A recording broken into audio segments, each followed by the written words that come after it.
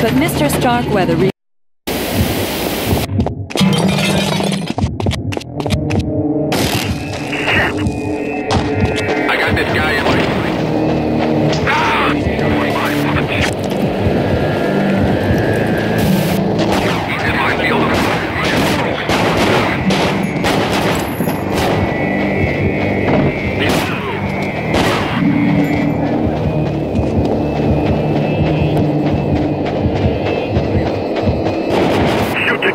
Repeat, shoot to kill. Both targets. No sign of either target. They won't get through this way. Who's got the?